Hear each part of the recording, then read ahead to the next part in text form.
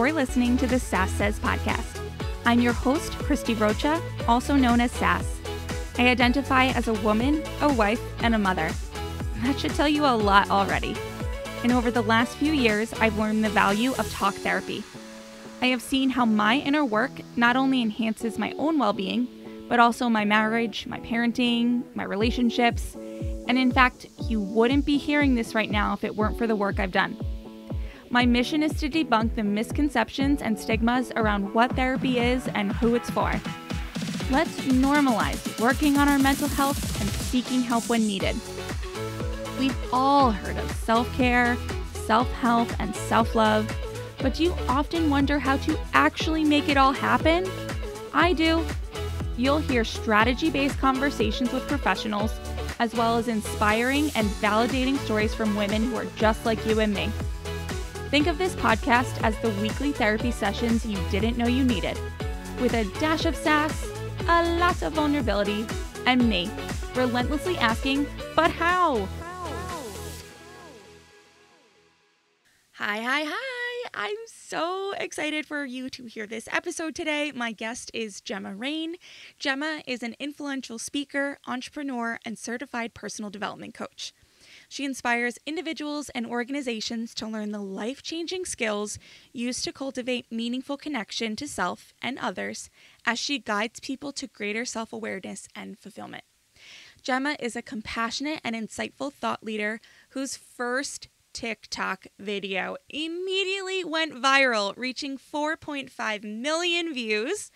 Her keen ability to warmly connect with her audience not only leads to the authenticity of her message, but gives them the invaluable experience of being seen, understood, and supported.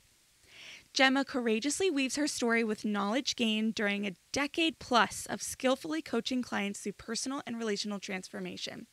She empowers people with a unique synthesis, whew, of relational intelligence, well being practices, and methods to break free from the constraints of conditioning that compromises our self worth, the quality of our relationships, and our happiness. Oh my goodness. And you bet your butt we get into all of this. We talk about Jemma's story, including her divorce from a quote unquote nice guy after 20 years of marriage. What actually is the crisis of connection and what can you do about it in your relationships? We talk about the mo- emotional load and labor in relationships and how gender norms and roles play a huge role in the emotional health of our relationships. We also talk about what Jemma calls the assumption of love, the types of intimacy, and how to break generational relationship cycles for our kids. Basically, you're getting a little relationship boot camp today. I will not wait a second longer. Here's Jemma. Hey, Jemma. Thank you so much Hi. for being here. Thank you for having me, Christie. I'm uh it's so funny when I do this and I say this every time my listeners are probably sick of hearing it but when I interview someone that I've watched on social media for so long it's like whoa there you are Yeah, yeah, I know. you know Yes. yeah Yeah, exactly. I feel Yeah. that too. Yeah. I um you know what I usually do this at the end but considering how I you know found you so to speak Mhm. um I feel like I was there when you had like two TikTok videos, three TikTok videos, and it felt like overnight you went viral. Like it is that It- accurate? Yeah, it, it is accurate. I mean, it wasn't even on my radar that that was a possibility. I, Yeah. I it took me so long to get the guts to even come forward and share that very first video that went viral. And I'm a, quite a private person. I'm very comfortable being vulnerable one on one, but to speak publicly, to share not just my thoughts, but a little bit of my uh, story was terrifying. So I really thought maybe five people who know me will watch it right and then i checked in an hour later and i could see the numbers right and it was my son who you know is a, a 20 year old and said mom it's going viral and i said "Oh no i don't i don't think that but just more people than i was expecting are watching it so yeah it was overnight Yeah. Yeah, because I it it came on my for you page and you know, I went to your page and I was like, oh, she's new. Like, wow, this is wild. Yeah, Like I was like, Yeah. whoa, this is crazy. Yeah. I mean, I was having this conversation last night with Jax Anderson. She's um on TikTok as well, a pretty big account. And it does seem pretty arbitrary. You know, there are yeah. there are components of a video that make it more likely to be pushed, right? But Mhm. it does seem pretty arbitrary that like it just happens. It's crazy. Yeah, I think it's that. And I think it's also the combination of a number of factors, right? It's like when you see a movie that really resonates, it's not just the writing, it's not just the actors, it's not just the directing, right? It's kind of everything together. And yes, there are some amazing videos on TikTok that just don't get the play, Right. right? That they Yeah. deserve. Yeah, Yeah. absolutely. Yeah. I've sort of opened this conversation up on my platforms about, you know, content creation and mental Mhm. health. I mean, Mhm. when you hear that, what is it like for you now? I mean, you mentioned being kind of more comfortable speaking one on one vulnerably and things Mhm. like that. Like, what's challenging for you and how do you how do you deal with it as far as creating content and and maintaining your mental health? Yeah, that's a great question. Um, what I've learned is to really check in with myself of like, do you want to post today or are you telling yourself that you should? And then for me, it's not really going to come from the heart if Mhm. it's a should.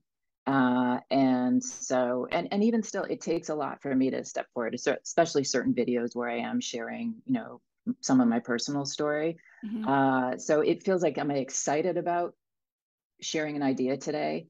Uh, have I had a theme play out with clients this week that feels like that's giving me some drive? Like, oh, I, I think it's important for people to know this because I'm hearing the same thing in so many sessions this week. So it's that kind of internal motivation Mhm. that will give me the energy and the inspiration. I, Mhm. I don't, uh, if it's like, oh, I haven't posted in this many days, I still feel that Yeah. pressure of like I'm letting people down or, you know, but it's doesn't motivate me as much. So that's Yeah. why you notice I, I'm not posting every day. Yeah. Right. And there's all these ideas about like the consistency and you have to post this many each day. And Ugh, yeah. I, I actually never even participated in social media until that very first TikTok video. That is wild.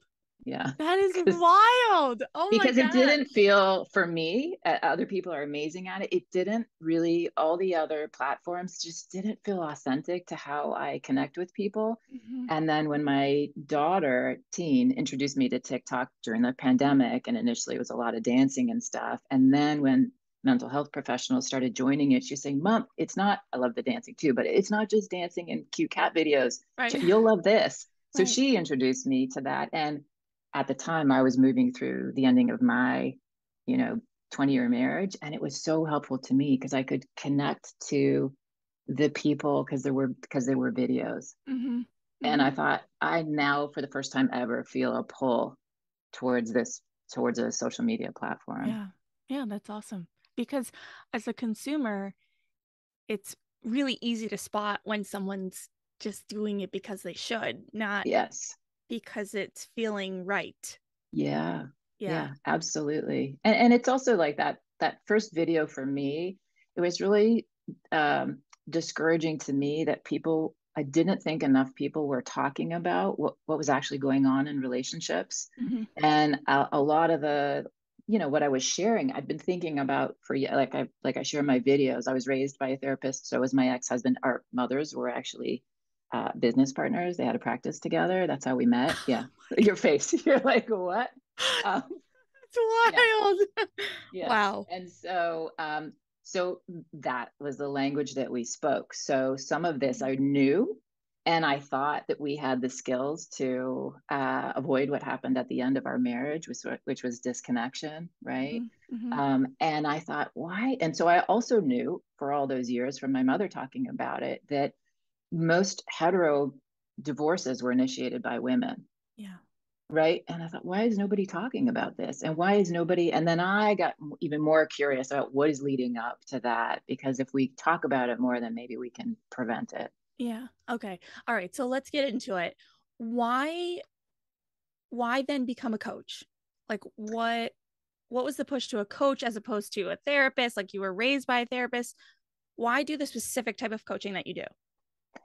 Uh for one it's just a, a, a better fit for me i love therapists uh for me that integration of insight and action and again it's really tricky because when you talk to coaches and therapists and people who've had both, you can't really neat, neatly fit them into different boxes, mm-hmm. right? There is overlap. A coach will describe what they do, and a therapist goes, Well, I do some of that too, mm-hmm. vice versa, right? So for me, though, uh, I, I, I, I think my coaching is therapeutic, mm-hmm. right? But a lot of my clients are coming to me after they've gone to therapy.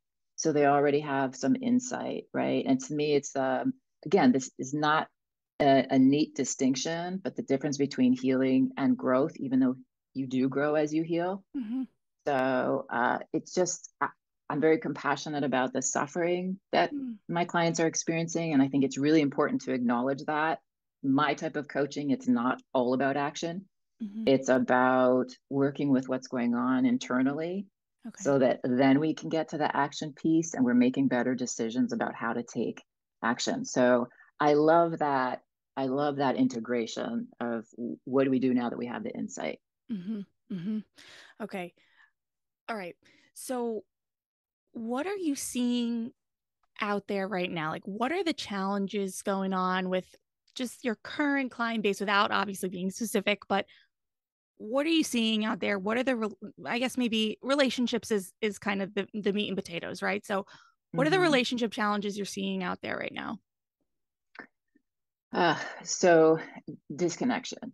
Okay. Is, is is the big one. I really think that relationships suffer uh, that what leads a lot of them to end is not attending to the disconnection that's taking place and that we've been uh, we understand disconnection that comes from direct confrontation right from partners being disrespectful and criticizing each other and speaking over each other and all of that but I think the one that flies under the radar a little bit is the disconnection that comes from withdrawal.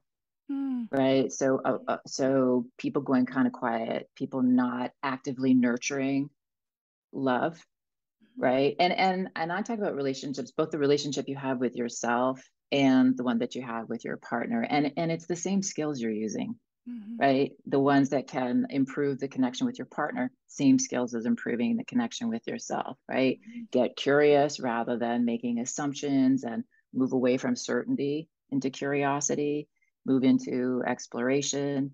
Um, so, you, you know, it's a crisis of connection. And under that umbrella is what we've been told for years is effective communication, is conflict resolution skills, and how do we consciously and intentionally nourish healthy connection mm-hmm.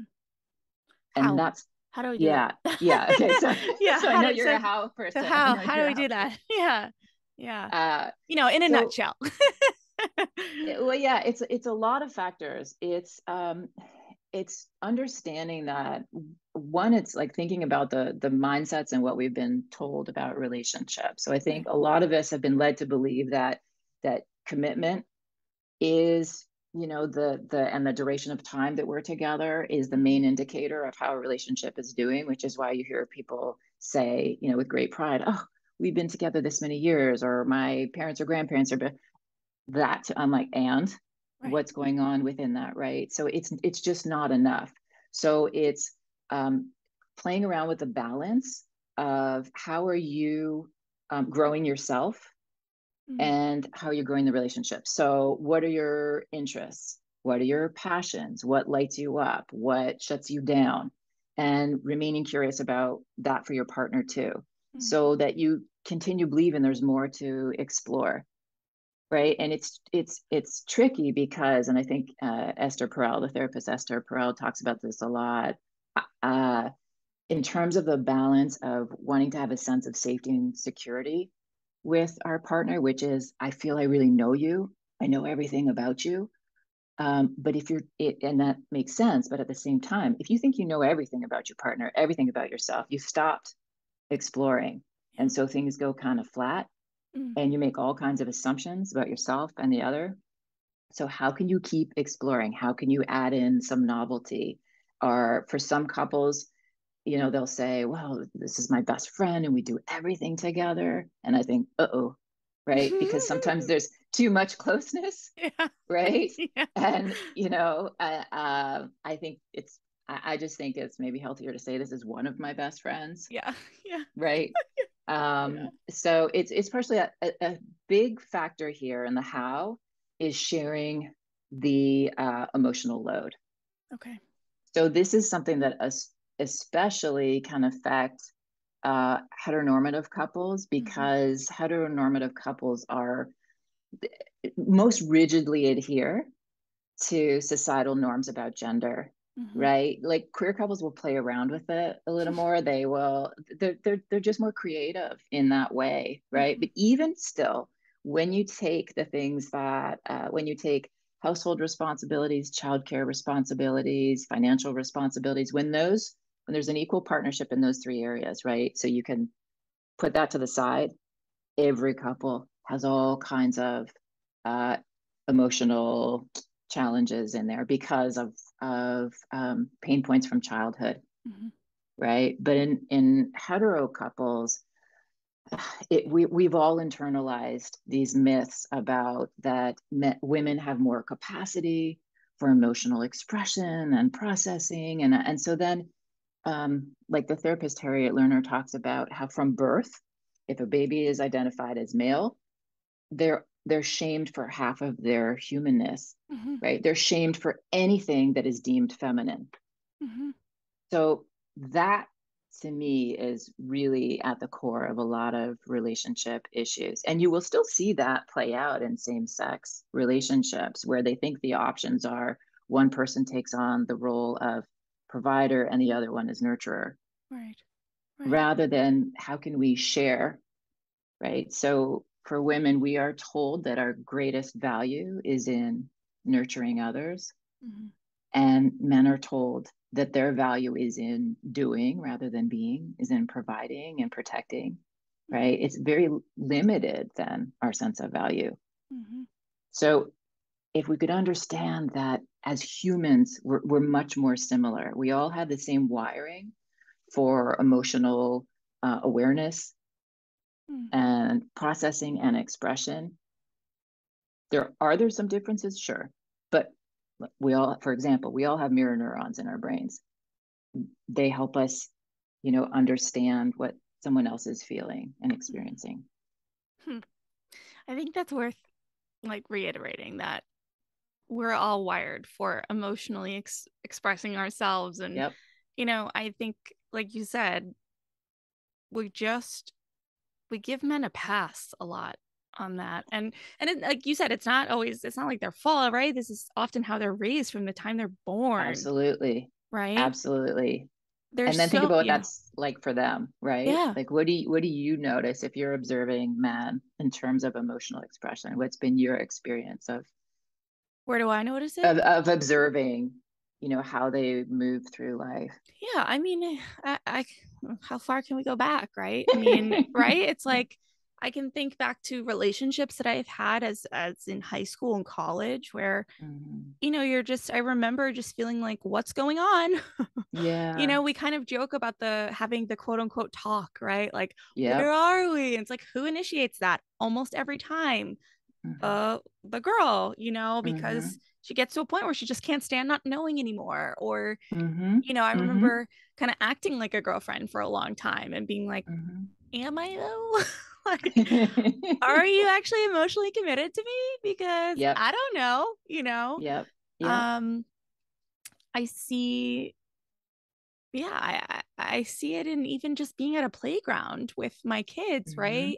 Right you see you know there being a little more leniency for boys to be rough you know Mhm. Mhm. um and just if they fall it's like get up Yeah, you right. So there's len leniency and there's also something, you know, and and and then for them, yeah, we'll, we will set the bar really low yeah for for boys, for men. At the same time, the cost of that is is just terrible for them, right? They are steered away from understanding their own emotional landscape. It's that man up message, like you mm-hmm. said, on a playground, a little boy falls and it's get up, Yeah. right? Shake it off.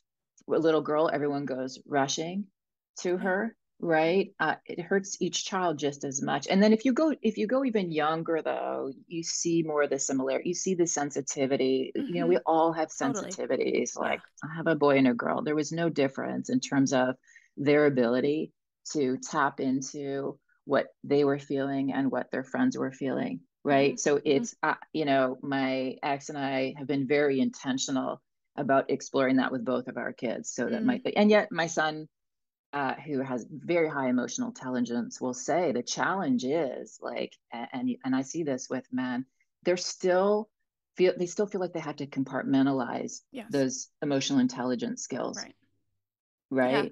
like we so, can do all this work at home but then they still have to go out into the world and mm-hmm. be a mm-hmm. man yeah know? yeah they still have to find a way everybody you know you know they still have to find a way to relate to their peers and mm-hmm. you know mm-hmm. be part of the group and and be understood and heard in mm-hmm. a way mm-hmm. that you know society culturally we want to understand them and we want to hear from them yeah i think it's like when you what i notice is when you give men the opportunity like a very uh like a safe space as i say to uh explore that part of themselves it's all been sitting there the whole time yeah they, yeah. they tap into it faster than they realize and then what is really exciting to me is watching how kind of thrilled they are with with themselves in terms of lear- learning more about themselves like mm-hmm. expanding their self knowledge and understanding their capacity mm-hmm. for emotional intelligence and relational intelligence i mean i think that's the other thing too is learning to think in a more relational way which mm-hmm. again women are conditioned yeah. for that from a young age. Like yeah. we are, you know, we are encouraged to have a lot of these like face to face intimate conversations with our friends. Mm-hmm. Right. And men are steered more towards shoulder to shoulder, almost like parallel play. Yeah. Yeah. Totally. Right. Yeah. yeah I just pictured like a line of 90 football players like standing right. shoulder to shoulder in pads, you know? right. And, yeah. and, and, and it leads to some very painful emotional loneliness yeah. Right. And so that's the other thing, as you mentioned, it's uh, women who are often initiating those can we talk, you mm-hmm. know, moments, uh, because again, we we because of that emotional labor, we've been told that's ours to carry. Mm-hmm. And so we're monitoring the closeness in the relationship, right? So that's something that eh, you know I talk about in terms of the ending of my marriage. That even though my ex has a lot of these skills, uh, we, we were still impacted by internalizing all that gender norm stuff, right? So I was the one initiating those conversations and saying in a calm way, hey, I'm, I'm concerned about us. We feel disconnected. I'm feeling lonely in the relationship. Mm-hmm. And we know, because we were raised right there, we know that that's like the kiss of death, mm-hmm. right? If this continues, so I really want to jump on this now because mm-hmm. prolonged disconnection you know we, we we then become self-protective in a different way. Then i started pulling oh i don't really feel cared for if you don't return to this conversation if there's no check-in after i've initiated it. Mm, mm-hmm. you know and yeah. So so what did that what did that look like for you? Like what did the disconnection in your relationship look like on a you know daily weekly basis? Yeah so for us uh it meant less less quality time together. It meant both people getting kind of absorbed in you know and again he was thinking in terms of that that way he's been socialized right? It was like but i'm doing the noble thing. I'm working hard for the family. And i was sitting there saying i'm working just as hard. Mm. you know we're working the same number of hours. Mm-hmm. and yet now suddenly i'm taking on even more of the parental stuff mm. you know um, it meant that our conversations we were always very respectful of each other. And so it, for me the, the conversations were pleasant and friendly mm-hmm. but they started to feel a little too uh, surface. Too friendly right? Like yeah too, yeah like too much like friends almost right? exactly. It's like if you know the way i think about it is if you're having these if you would have these conversations with your neighbors who you're friendly with and we did live in a neighborhood where we talked a lot to then this doesn't feel that special to me yeah. anymore. It's not going it's not going deep enough. This is and, and also it's not very interesting to me. Right. Right. Yeah. Right? Yeah. So it was it was that the the the connection, the meaningful connection was not being nourished. The relationship was not a priority. Mm-hmm. Right. And I, and it's another thing we have to play around with. It can't always be the priority right. when you have career, when you have kids, but it has to be a priority. And I, and I, I think people slide into um, the assumption of love, passive love, mm-hmm. of like, of course I love you. Mm-hmm. And so then it doesn't feel like love. Mm-hmm. And then it slides more into a relationship for some people that's that's that's about care. Mm. Mm-hmm. Right? Care is an element of love, but it's not enough for the relationship yeah. to feel like like the example that I give is when my son's away at uh, university, I will send him care packages, packages of his favorite foods, right? It's a it's one of the ways that I am showing him I, I care for you, I'm thinking about you, I love you. Um, at the same time, if I only did that, right, I don't think he would actually feel that loved. Right.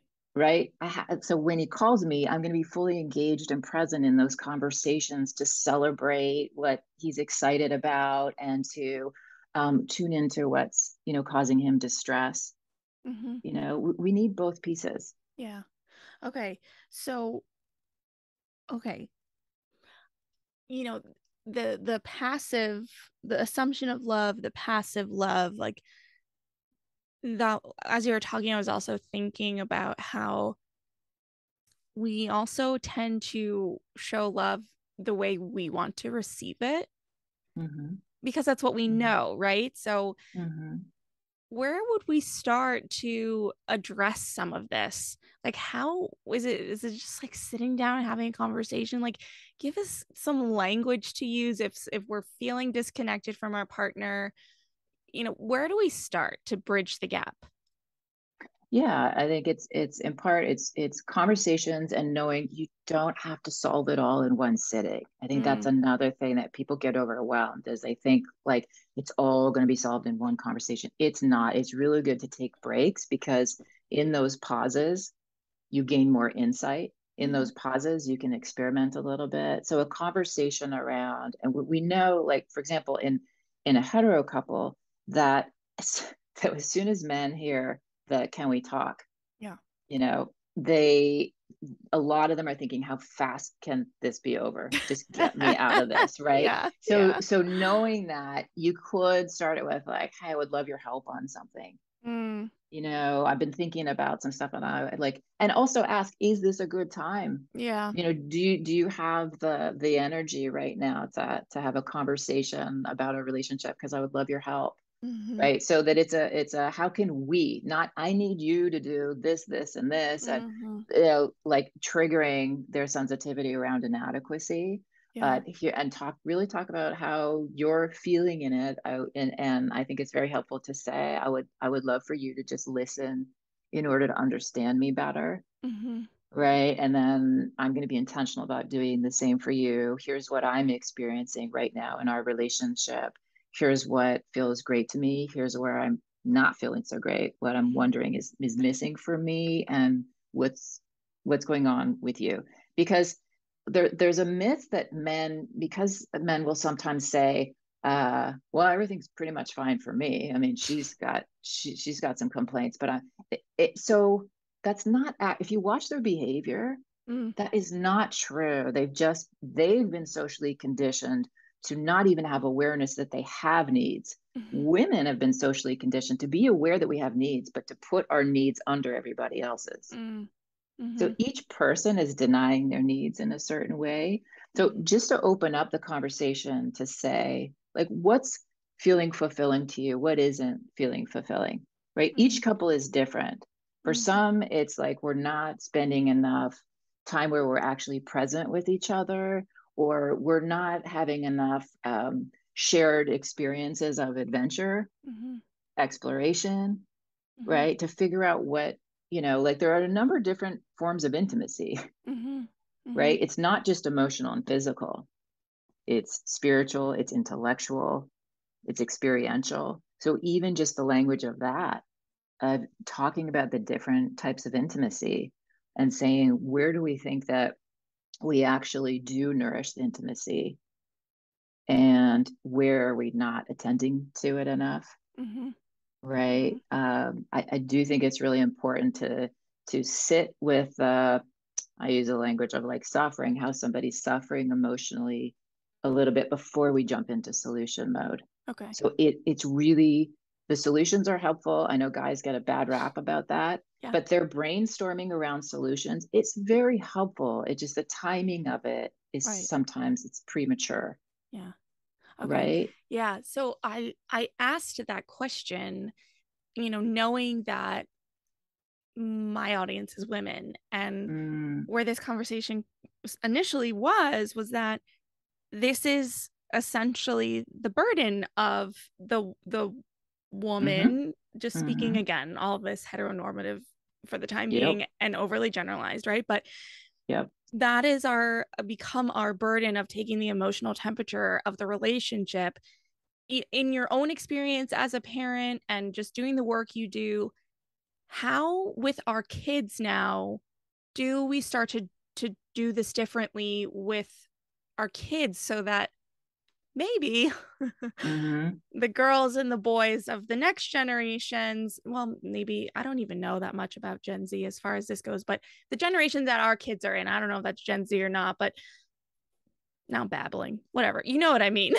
I do. No, what no, do we do no, what, how do we do things differently with our kids so we don't continue the cycle is what i'm getting at Okay, so first to get really get to the root of it, we really need to understand that we are not that different, Mm. right? So and that's at the core, because if we're still operating uh, with that myth, we are unconsciously going to interact yeah with our kids in in differently, right? So just to really understand that um, we are we're humans, we're humans we are all capable of learning these skills you know emotional relational skills so that's for starters because what i see is like my my brother has all those skills you know we're 70s kids Mm. because we grew up speaking that language Mm. right my son has them because my ex and i were very conscious about having those conversations around emotional awareness right and also understanding that each child is is different and some kids you know want to talk about what happens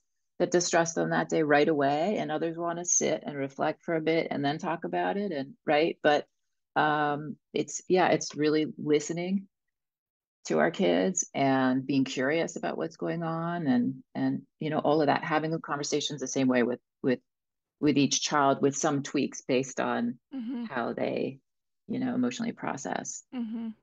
right Yeah. All right. And you mentioned um, a few times, and I know from following you and and whatnot that you know you talk about your your experience, your divorce experience as being from a nice guy, right? Like, Yep. and you Yep. mentioned it earlier. There wasn't this like big moment, right? Like, talk to some of the challenges that we might not realize about that type of divorce because I think we often hear about the other, right? The traumatic angry, you know, tumultuous situation. hmm Talk to me about some, like I said, some of the challenges of the situation like that you were in that we might not think of, might not realize.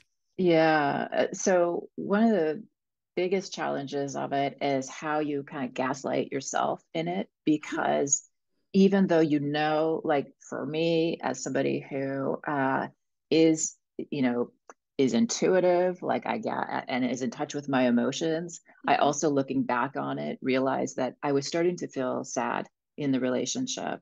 There Mhm. wasn't uh, there wasn't enough of certain types of intimacy. It wasn't fulfilling enough. And yet, because he's such a good and kind man, I kept convincing myself that I didn't have the right to to feel that way. I knew I, I knew at a gut level, and if I really would had allowed myself to explore those feelings of sadness, grief, it was a sense of loss, right? It was a grief around loss of connection, Mm. right? That the connection was feeling a little too surface sometimes, and uh, and I was telling myself, trying to convince myself that I should be happy enough in it. Because exactly like you said, we weren't screaming at each other. We were still engaged. We were still cuddling. We were, you know, there was Yeah. still affection. There was still care. There was still a lot of respect and admiration, Mhm. right? We were very supportive of each other's careers. There were a lot of foundational pieces there. mm-hmm. um, and then some missing. Uh, there, there stopped being enough, even though we we both have a good sense of humor. Play is another really important element of love. Mm. And at, at, the end, I was like, there's not enough play mm. for me, right? Um, so I think that one of the challenges there is that you convince yourself that you don't have the right to feel as sad as as you are. Mm-hmm. And that's what I see in people. When I'm sitting with people who are still in that phase of denying it, they are so sad. Mm. Right? Yeah. And they're and they're trying to convince themselves to stay. Yeah. Because they don't want to hurt to hurt this other person. Right. So it's like the, the self-sacrifice of that. Like yeah. if I'm true to myself, I'm causing emotional suffering to my partner, to my kids right? And and what will everyone you know on everyone on the outside thinks this looks fabulous. Yeah. Yeah. Right? So yeah. it, it, it's that self denial and self betrayal and like the our emotion our emotions are there to give us information. And had i tuned into my sadness a little earlier i don't know maybe i could have gotten to the root of it. Yeah. It's it's making me think of you know we've been talking a lot about gender norms and and things like that and it's it's also just as you're talking it's like here i am in in a marriage right that mm-hmm. um I, I, love i'm happy in and mm-hmm. i wouldn't change anything about it well that you know what i mean about being married yeah. right yeah um but it's reminding me of all the conversations i've had with divorce coaches and you know therapists who specialize in in marriage counseling and things and we have such a high value in this society on marriage and what it means and ultimately be, okay what am i trying to say i'm trying to say that i don't think my relationship as it is now would mm-hmm. be much different without that piece of paper mm-hmm. Mm-hmm. but yep. to dismantle it because of that piece of paper would be would be often would be what might keep me in it right like i don't know mm-hmm. it's just the mm-hmm. the the uh, uh, it's like mm-hmm. because of the value that we've put on marriage and what it means we're actually to the detriment of yeah. happiness I, I agree because that because of that piece of paper it sometimes slides into the assumption of love yeah right yeah. Uh, the same dynamics, though, I do think play out in most long term relationships. Okay. Right. So even if they don't have that, the piece of paper, okay. if they're in it for a number of years, the same dynamics are playing out. The difference, as a friend pointed out to me the other day, who his way moving through life is I will never get married, mm. is yeah, but I can walk away, you know, and so can my partner yeah. more easily because we don't have that piece of paper, right? Yeah. It's not uh, like legal fees and that yeah. are going to put you in debt and you know all that. Yeah, Man, that's just it's just crazy. Okay. Yeah. Yeah. So, it, so it's it's also the one and done idea, right? Like I think that. Uh-huh. I, I, do think that we're at a stage where um, it's time for relationships to catch up to to where we're at, right? Mm. It, this is mm it's not the 1950s anymore. Things have changed in some ways. I mean, right. Unfortunately, yeah. not in others. But right. uh, so, in terms of relationships, it's really the call for each partner to share the load of cultivating the connection. Mm-hmm. Right? It mm-hmm. cannot still be on one person. Mm-hmm. Mm-hmm. Right. Yeah. And so it, it's that, that the one and done idea, it, it sounds very romantic and lovely. I don't think that it's the only model we should be focused on. Yeah. Yeah. All right. And, and you said it earlier and I, if, if we've already talked about it, just make the connection for me. But okay. 80% of divorces are initiated by women. Yes. Why is that? Uh, because they are the ones monitoring the closeness. Okay. All right. And so they are tuned in to the suffering around disconnection earlier mm-hmm. and and more consistently. And then when they're bringing it to their partner, as they often do, mm-hmm. and their partner doesn't join them in and learning how to reconnect, right? Which involves learning some new skills often, yeah. right? Uh, then their heart starts kind of pulling out and then it's just it Okay. just feels like this isn't worth it anymore Okay. All right. Thank you. And so now in in the work you do and just, you know, maybe even at home, like when when someone's going to come now for coaching, Mhm. what does the actual work look like? What does the process of working with you look like?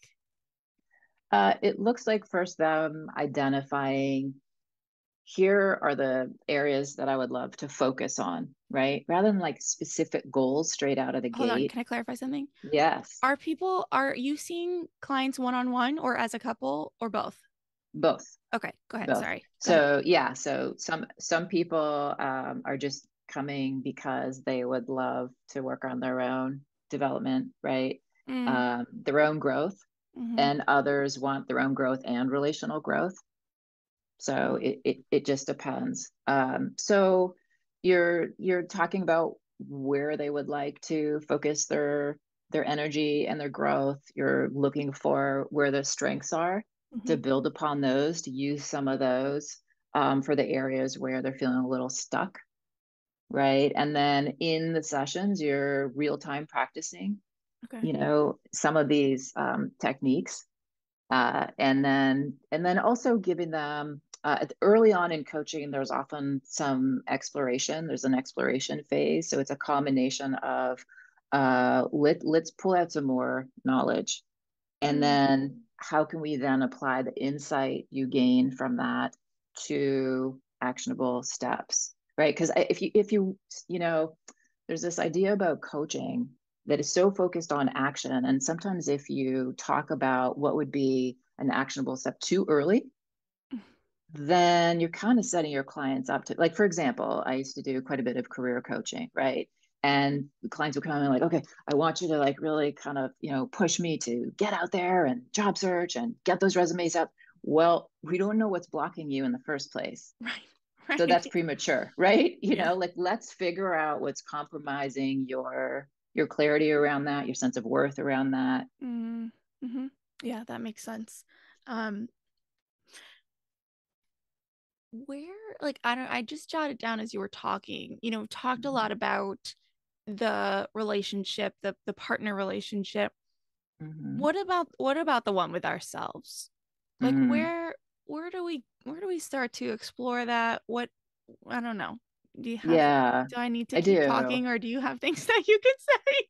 yeah so one of the the big ones is really uncovering the as you'll hear a lot of coaches talk about really uncovering the unconscious beliefs that are running the show. Mm, and i pull them out of people rather than out, it, through stories right? You're, you're listening to their narrative the stories that they're telling about themselves about what's possible for them about you know um, one of the things i'm tuning into are the statements that people make what they insist is true about themselves and I'm like, is it though? Right. So a, a lot of, yeah, Yeah. you know, how did you, how did you come to believe that? Mm, Right. mhm. Uh, because then you are going to unconsciously invite in situations that confirm that. And you're going to be so focused, unconsciously focused on confirming it, confirmation bias, um, that you will then insist even further to me that it's fact. Right. Mhm. What would happen if you didn't believe that?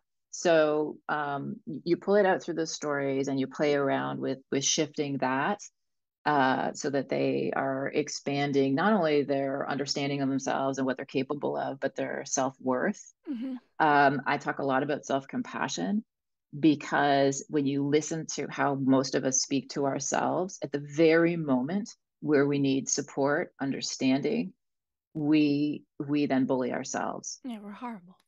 Yeah and and the science of it which i've learned this from um, self-compassion researcher kristin neff is Mm. that when we speak to ourselves in that critical way we are putting ourselves into threat response right Mhm. we're activating our nervous system in that way so that's a big one most of us are fairly lousy at speaking to ourselves in a compassionate way so I work with people on coming up with a self compassion script until the point where it becomes an automated process. But initially, it's really Mm. helpful to have it written out and consciously practice that uh, daily and not just waiting until you're in distress. Right.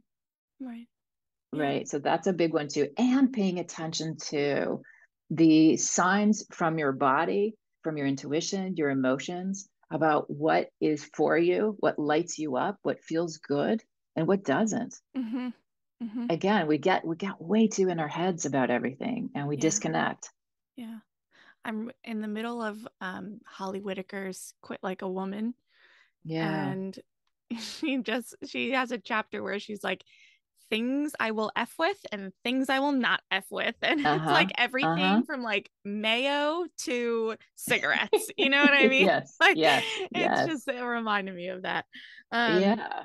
I want to ask you too, just I this was maybe six months ago now. I mm-hmm. had a conversation with Heather Chauvin and mm-hmm. she's a coach and mm-hmm. I was interviewing her and we really had a, a clarity moment for me in the interview where I was able to make the connection that what part of what was blocking my next breakthrough in self development mm-hmm. was feeling unsure of how my development would affect the relationship.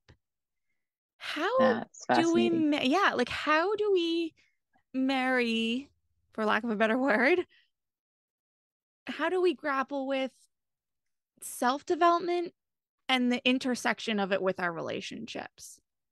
Mm-hmm.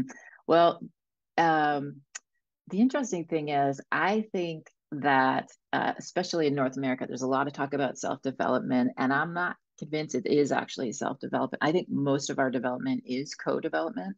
So if you are right, you know, it's it's um, our if our relationship is is healthy whether it's with a coach a therapist a friend right if they are if they are mutually growth fostering relationships that's another thing i think to focus on in our intimate relationship hmm. um, so what you brought up i think happens for a lot of people and i think uh, some people will unconsciously hold their growth back yeah. stifle it play small so that it doesn't threaten the relationship so your awareness around that i think is amazing even just tapping into that awareness and and playing it out like ooh how is this going to affect the relationship mm-hmm. right so if we're not growing mm. throughout we we are wired to grow we are wired to evolve mm-hmm. and so we also want to talk about for ourselves and in our relationships what does that look like how are we focusing on our our growth mm-hmm. mm-hmm. so in in thinking about co-development mm-hmm. and based on you know the rest of this conversation i'm thinking yeah. about that in relation to my spouse mm-hmm. is is this where you know i know you talk a lot about like authentic love like is this mm-hmm. where you mm-hmm. would start to maybe not start but is this an area where you would feel like okay if we're we're doing this together this is what would be yeah. considered authentic and and what wouldn't like what's talk to me about the differentiation of authentic love versus just what we might think of as love yeah so um yes another one of the components of authentic love would be that they're that you're both growing right there's okay. um there's there's something called the the relational cultural theory and it talks about growth fostering relationships which I, I, I think is really part of it right like is our is our zest increasing hmm. as we're in this relationship is our is our this is a huge one is our self-worth increasing in mm-hmm. this hmm. relationship so that's like a key sign that something is off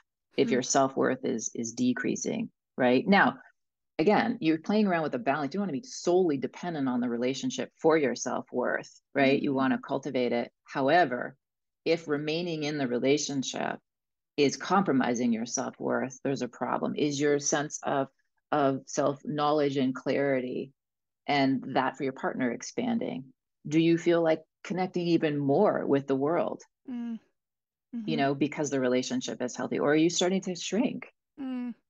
right so that's another topic to explore with your partner in terms of authentic love mm-hmm. right and and it's this isn't like consistent all the time we we, we, right. we fall off the tracks right we, yeah. we become disconnected from ourselves and and from others you know i talk to people a lot about that sense of creating that like internal sense of home mm. because throughout the day we will have moments where we disconnect from ourselves disconnect from others how do you find your way back and i think it's especially important to think of it um, as that internal sense of it because some people grew up in houses and in you know in a residence that didn't feel like home emotionally.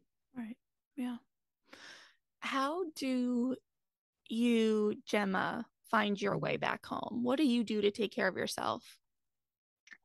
Uh, I, I i check in with myself more regularly now right? And that's something that i learned at the end of the marriage too it was like all the ways that i would remain so connected with clients or friends but then on my time alone i was numbing out a little too much because i didn't want to look at the truth of what was happening. Mm. um, and that kind of disconnection from yourself is so painful uh, and there's kind of like a recovery process from that. So i check in with my in the morning um, and i go over this with clients too. A check-in about like what am i feeling? What's my energy level connected to those emotions? Um, what's the story i'm telling myself about that if i recognize i'm a little distressed right and what mm-hmm. do i need in this moment or in this hour or right to to connect with myself and it's going to be different each day mm-hmm. i don't want to be like rigid about i have to meditate at this time take a walk at this right you want to mm-hmm. really think what do i need today because mm-hmm. we're always right it's always yeah. changing i laughed I w- people won't be able to see you but she did a little yeah. like vibey the, move the body there. flow yeah, yeah yeah yeah right yeah so there's yeah. days where you're feeling quite playful and you want to savor that and how can i kind of ride that wave if i wake up and i'm feeling like very energetic and playful how can i consciously nourish that mm, mm-hmm. Mm-hmm. if i'm feeling another way where i need a little more comfort or how, how do i respond to that yeah curious you mentioned the recovery process from you know disconnecting from yourself. Was there a moment where you said okay like uh, the process i did the process i'm i'm i'm healed like i'm good? Yeah like i, I know the answer is probably no but what did the healing process look like for you and when did you start to feel like you know you got your feet on the ground a little bit? Mm-hmm. uh yeah, it's in, in some ways it's kind of hard to explain because it's just this feeling of yeah. like, ah, I feel so much more me. And I almost needed that contrast because yeah. I would have said before, like I thought I was being true to myself, right? Yeah. Um, but it's that it's it's also energy is a big part of it is mm. like feeling the again the, it's like the desire to engage more with the world because you're feeling more like yourself you're mm. feeling you know your self-worth has expanded you're excited about possibilities and uncertainty doesn't feel so scary anymore because it's like ooh that's where the exciting things can happen because you don't know what's going to happen mm-hmm. Mm-hmm. yeah and to kind of like bring it full circle for yeah. me i know that when i want to be engaged on my social media platforms i'm yeah. in a good headspace yes when i'm pulling away i'm like have no interest in it whatsoever yes yeah. I, I, think what you just said is is such a great thing to um, to note and to like in terms of checking in with ourselves. Am I in a space of feeling like I want to approach life, my thoughts, my friend, whatever, or or am I feeling like I want to withdraw and avoid? Yeah, yeah. Up. It's funny. I usually I I've I've said this before. When I am feeling deep in some level of growth or development, I yeah. do retreat. Okay. From the world. But I also know that I do that in a depressive state too. So mm-hmm. um it's it's just funny to me that So I then how do you yeah. know?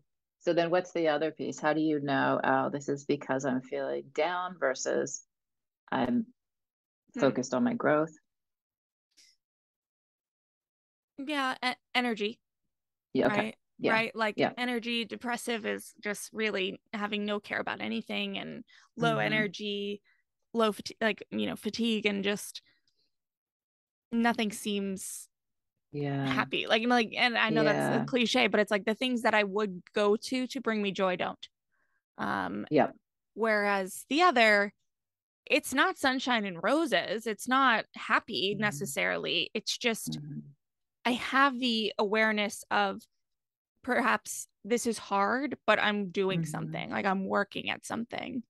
Um my my listeners have been on a body image journey with me for the last year and okay and that's really what's coming to mind for me is okay you know this is something that comes up almost every therapy session in one way or another really unpacking this and i'm at a point now with it where to think about it talk about it be in this body doesn't make me depressed hmm hmm but it's such active work to just show up in the world in this body that i'm in yeah that it's different. Yeah. I'm not like down and out about it, but I know I'm I'm still in the weeds with it. You know, I'm not yeah I'm It's- you know, I can look it's- back it's and see the process. progress, right? But hmm it's like it consumes my thoughts a lot of the time. yeah and and and do you find that you're focused now on more aspects of it Yeah,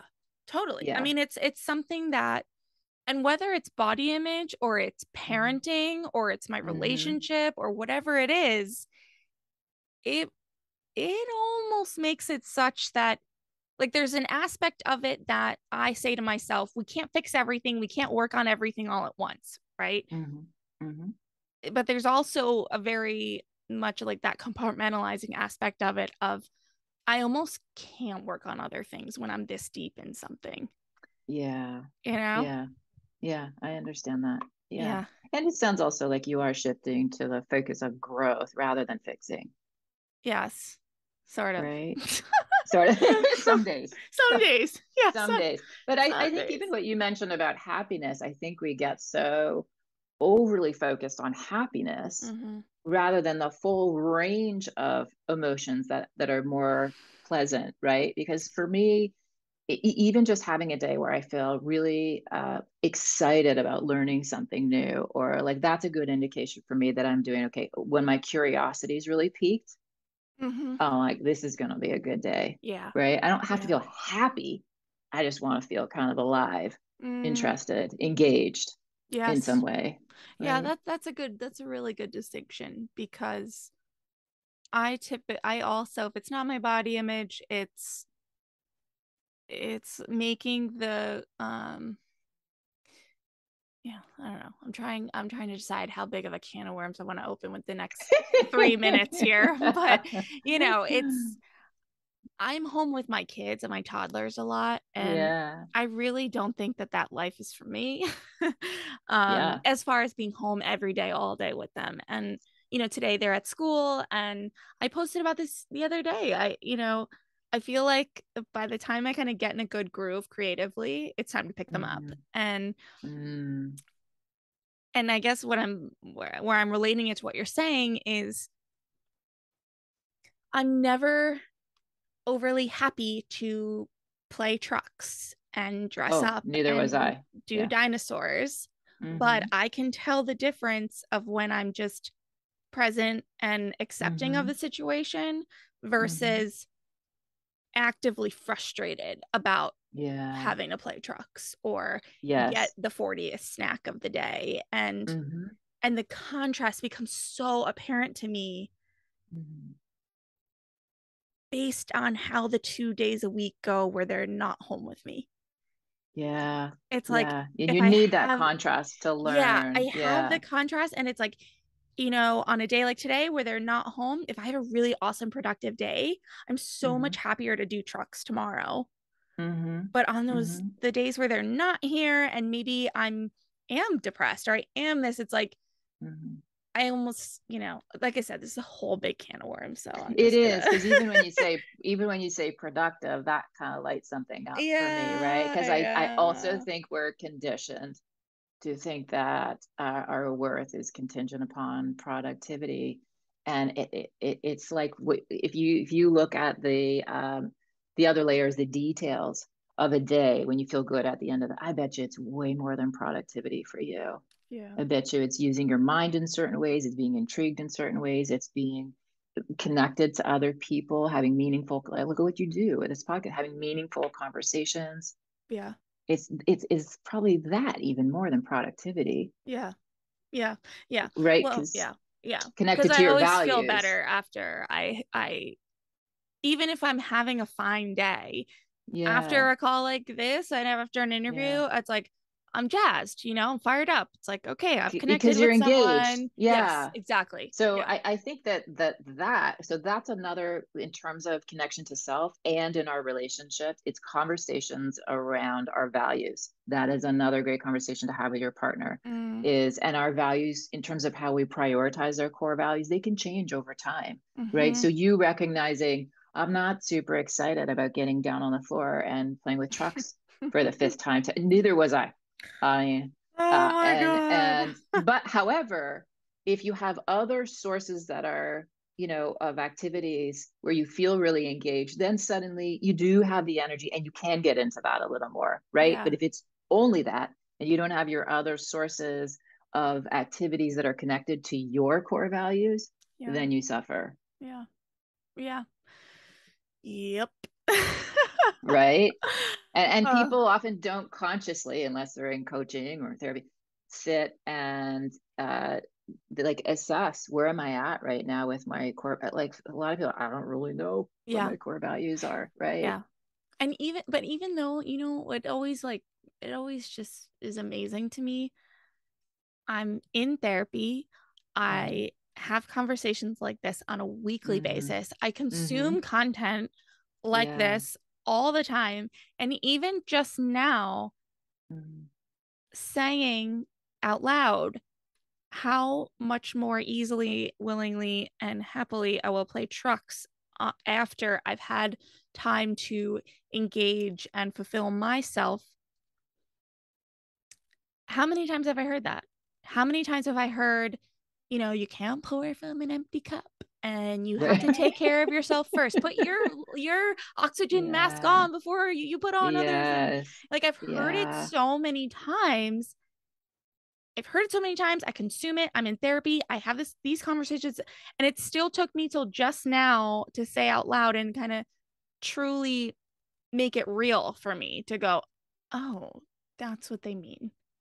Because yeah you can still get so wrapped up in the the shame and the guilt and you know, It, yes, it, it's the um, I mean, that's another thing that I think happens in therapy and in coaching. It's really uh, gaining a, a better understanding of what are the beliefs and behaviors that have been conditioned in me. yeah. So within that, I would say there's something that is about that a, a belief that you have to sacrifice your own desires and interests and all that to make sure everyone else is Yeah. okay for and and and especially as a woman yeah. that's been drilled into you, right? And Yeah. so a lot of the things we think are very true about ourselves, they're not, they're conditioned. Yeah. And the more we go, oh, how can I release that a little bit at a time and get back to who I truly am? A little bit less truck on the floor time, a little bit more engagement in my interests, Yeah. right? Yeah. Yeah. Yeah. And and and you know, I think for me too, it was not just the conditioning that I should put everyone's needs and wants before mine, but that I should want to.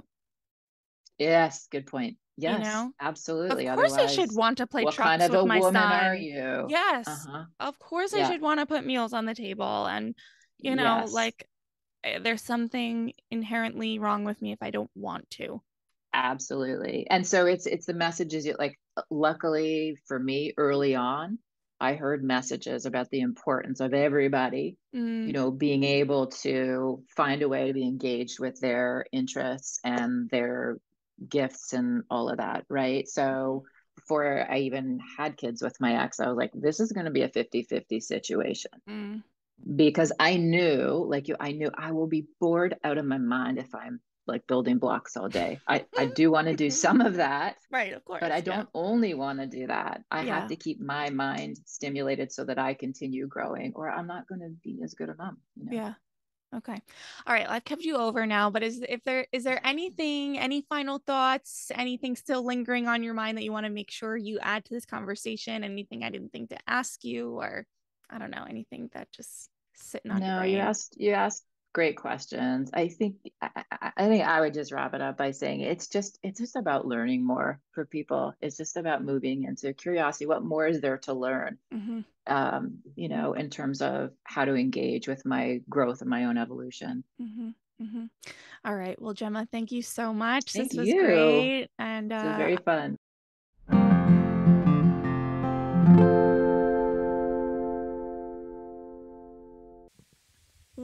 Whoa. Okay. So much to unpack here. I am going to try to do this conversation justice and take two points that really stand out to me and share them with you. The first was the idea of sliding into the assumption of love. The assumption of love then turns into care, which is all great and fine, but not enough. I thought this was so insightful.